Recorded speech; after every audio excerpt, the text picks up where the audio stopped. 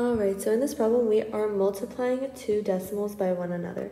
Now when we multiply decimals, we just want to stack the numbers on top of one another, and currently we don't have to worry about the decimals. So now let's multiply using long multiplication. So we'll take our first number 8 in, the, in our first column and we'll multiply by all the numbers above. So we have 8 times 6, which is 48 and 8 times, and I'm going to carry over the 4 and write down the 8 in the ones place. And now we have 8 times 3, which is 24, plus 4, which gives us 28.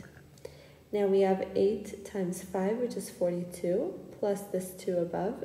8 times 5 is 40, plus this 2 above gives us 42. And now we can erase the numbers that we carried over, and we're going to move on to our next column. We're going to start multiplying by 2 all the numbers above, and we're going to want to place a placeholder under the ones place because we moved one column over. So now we have 2 times 6, which is 12. 2 times 3, which is 6, plus this 1 gives us 7. 2 times 5, which gives us 10. Alright, so now what we have left to do is add all of our numbers here to get our final answer. So we have 8 plus 0 is 8. 8 plus 2 is 10. 1 plus 2 plus 7 gives us another 10.